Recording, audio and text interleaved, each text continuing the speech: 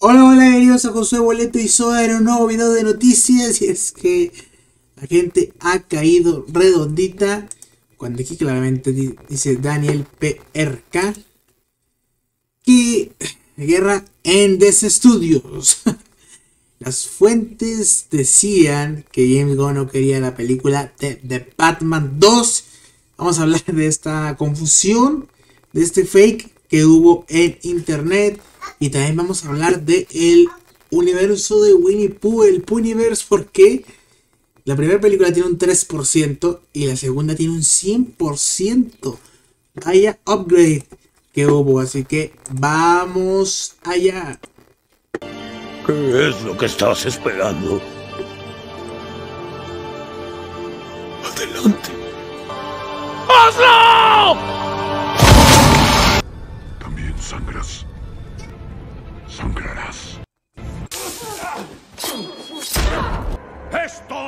Esparta!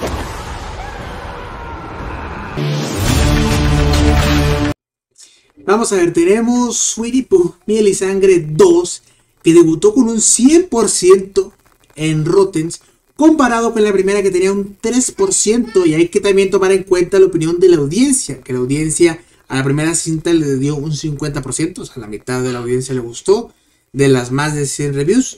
Ahora con más de 50 tiene un 79%, ¿no? Aquí hay que aclarar varias cosas que creo que son muy importantes. Punto número uno, el 100% no es que la película tenga un 10. El 100% es que a todos los críticos le dieron una calificación aprobatoria. O sea, un 6 puede que le hayan dado un 6 todos y va a salir 100%. Si uno le da un 4, ya no puede salir 100%. Aunque los demás le den 10. Entonces así funciona Rotten, es por porcentajes de aprobación. Rotten nada más te dice la aprobación de los que tienen este, sus reseñas en Rotten. Otro punto muy importante. Vean, el 3% de la primera película tiene 62 reviews. O sea, de los 62 críticos, Solo ese 3% le dio una calificación de 6 o más. Solo el 3%. O sea, te sigue diciendo que es una película mierda, ¿no? Pero en el otro caso, del 100% solo hay 6 reviews. O sea, los 6 le pudieron dar 6 y te va a salir el 6, 100%. O sea, me parece que todavía son muy poquitas reviews. Obviamente es un buen inicio, ¿no? Para el 3% que tenía. Pero a lo mejor con ese 3%, si nada más agarras este, 6 reseñas, el porcentaje va a subir, ¿no? Y si dejas el 3% de los que le dieron una calificación aprobatoria, ¿no? El caso de la audiencia pues, también está a la mitad, ¿no? Hay más de 50 reseñas, las que le dieron el 79%, y en la otra hay más de 100. Entonces, es la mitad de audiencia, así que puede estar así, ¿no? Así que no hay, no hay esta diferencia. Ahora, si tomamos en cuenta los críticos que hay en Rotten y la gente que va y deja su reseña sobre esta película, que probablemente la mayoría es gente que le gustó mucho o la odió mucho, entonces es una opinión sesgada, ¿no? Hay gente que lo quiere tomar como algo positivo para esta cinta, bueno, pero sigue siendo una opinión sesgada. Este número, este porcentaje va a bajar forzosamente cuando más críticos le hagan su reseña. Y bueno, para cerrar tenemos esta noticia de Daniel PRK y ha comentado lo siguiente. Dice, guerra en estudios. Las fuentes me dijeron que James Gunn está peleando con Mark Reeves. Probablemente una pelea de box, porque quiere que The Batman parte 2 sea canon para el DCU. Pero Reeves se niega. Aparentemente Gunn hizo algunas reescrituras no solicitadas para incluir a Superman. Reeves eh, deja el que Reeves deje el proyecto es una posibilidad, ¿no? Ahí por la traducción, pues está medio chocuta, pero dice eso. A ver, mucha gente se tragó esta noticia y simplemente lo voy a resumir en algo.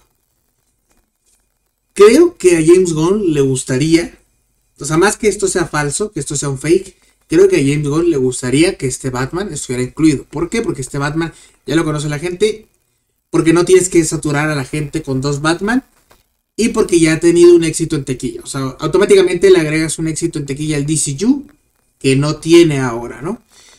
Entonces, creo que él quisiera. Ahora, no creo que Warner Brothers lo deje. ¿Por qué? Por Matt Reeves. Porque a Matt Reeves, si le llegan y le dicen esto, obviamente Matt va a rechazar esto. No creo que a Warner le interese que Matt se vaya del de Batman 2, sobre todo cuando va a estrenar la serie de El Pingüino, que será muy importante para la plataforma de streaming Max, ¿no?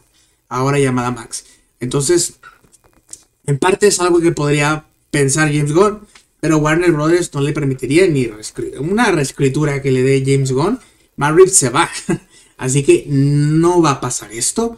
Esto es imposible. Ahora que James Gunn si quisiera incluir a su Batman, pues yo creo que. Yo creo que si le preguntas a Kevin Feige si quiere incluir a The Batman en el MCU, te va a decir que sí también. Pero eso no quiere decir que eso vaya a pasar. Sabemos que Joker y The Batman van a ir por su línea. No creo que haya otros Elseworld. Yo creo que estos porque ya existían se quedan. Pero no creo que eh, quieran más de este tipo de, de contenido, ¿no? Ahora, ¿va a tener que haber otro Batman en el DCU? Sí, es una cagada también. ¿Por qué? Porque debería haber un solo Batman.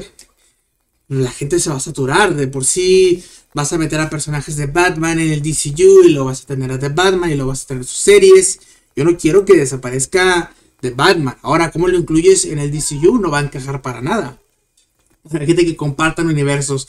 Este Batman con Peacemaker, obviamente, eso es imposible. Eso es imposible. Y yo creo que los ejecutivos de Warner prefieren que se vaya James Gunn y que se vaya Matt Reeves.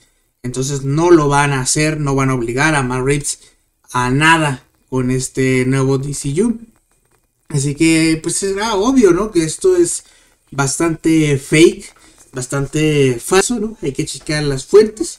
Creo que también puede evidenciar a algunos, ¿no? Que a lo mejor no pueden checar sus fuentes tanto.